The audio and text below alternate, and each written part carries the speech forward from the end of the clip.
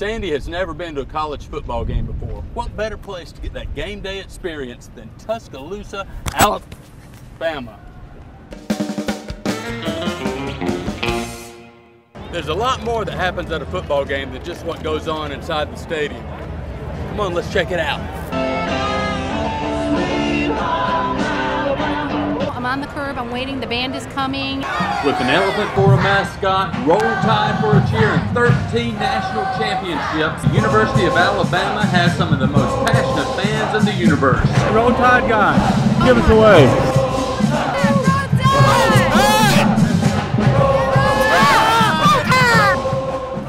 Is there a Republican convention going on at the same time as this football game? If you want to make the most of midlife, don't just go to the game. Get there early and get the whole game day experience. What am I supposed to say? Is that an elephant out of pants or are you just happy to see me? Looks like she was holding the ball for Sandy. The midlife tip, don't be an impulse buyer. I paid $40 and just down the street, $5. But this is like the Wall Street of the South where buyers and sellers come together, engage in commerce, and buy their tickets.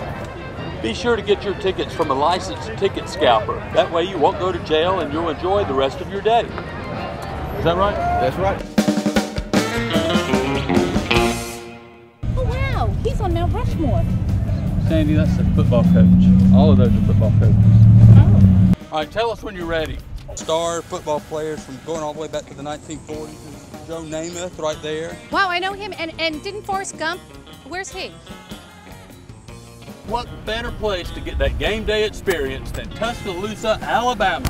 Ow! Let's go, let's go. Hit me right here, right here.